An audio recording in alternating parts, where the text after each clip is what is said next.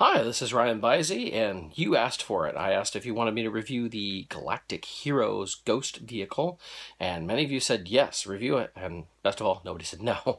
So let's go ahead and take a look at the Ghost vehicle. I was able to pick this up for about $14 at a Ross recently. Um, I'd been wanting to pick it up, but I didn't want to pay too much for it, so getting a good deal on it was definitely worthwhile. Let's take a look. So it comes in this open display box. We can see we've got two Galactic Heroes figures of Chopper and Ezra the vehicle itself, some firing missiles, pieces that come off and can be attached. Calls it a two-in-one vehicle playset as well, which is similar to what they did with the Millennium Falcon. We'll look at the back and we can see all the different things that you can do with this. Um, I don't buy too many Galactic Heroes items. I have the Falcon, uh, a couple figures here and there, but not too much. But since Hasbro never gave us a Ghost, I thought this was worth checking out. So here we are. We have it outside of its packaging. And we have our two figures. To give you an idea on size-wise, we take Ezra here. This is a regular Hasbro, so you get the idea of size difference. Now for Chopper, it's actually a little bit bigger than the regular Hasbro Chopper. And still bigger still than the, the Disney Chopper here. But they're all about the same size, really. Uh, I guess if you couldn't get either one of these choppers, this could fill in for you. It's pretty darn similar. Um, but if we get to the vehicle itself, it's got some interesting play features. So we have this gun and this arm, which we can actually detach. And on any one of these,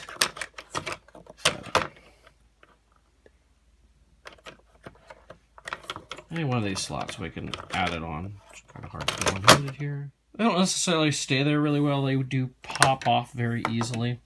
We do have uh, firing missiles. I'm not going to fire them here for both the front and on the top. Just give you an idea of detail on this. Our engines in the back. I'll pop this off when I move around. And even some kind of landing gear on the bottom.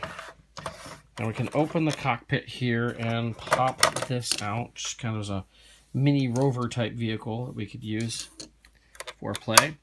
And then this whole thing this pops open for a play set. Now you've got different places to put like figures in here. They have foot pegs. And underneath, we have like these little sliders here, which will move these back and forth. Nothing over here for this one. Uh, also, we have this that pops open, kind of like a little jail cell or maybe cargo, something like that. Kind of a neat little feature. Probably not something that you're going to want to throw with your Hasbro figures. It's nice decals, although this one I really wondered why would the entire crew of the Ghost be on the view screen inside the Ghost, but whatever. The other cool thing is you can open up the back engines, so they made a Phantom vehicle as well, and it will slide on in here to connect with it. Of course, the engines stick way out kind of weirdly like that. But, I mean, that's the basic vehicle. There's some cool play features. Um, for most of us, probably not that big a deal.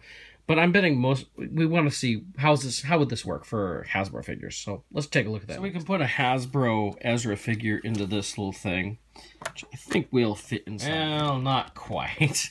It's uh, definitely I can't lean him back enough to to get it in there and close the cockpit. So not quite working. But maybe as a display piece, let's see. I guess if you wanted to make it this a display piece with your Rebels crew with the ghost behind it. Maybe put in a hangar of a diorama or something.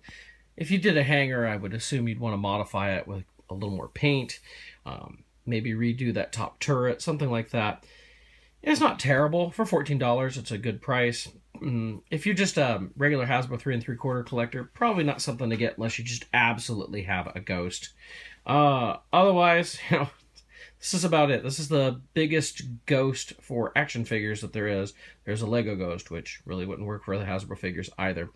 But um, this is about it. Unless Hasbro finally makes one, which with Rebels Season 4 um, being our final season of Rebels, I kind of doubt we're going to get an, uh, a ghost in there at any time. Unless it plays some part in any of the future films or something. But I guess it could kind of work if you really wanted to. I wouldn't pay the full price. The $14 at Ross seems about the right price.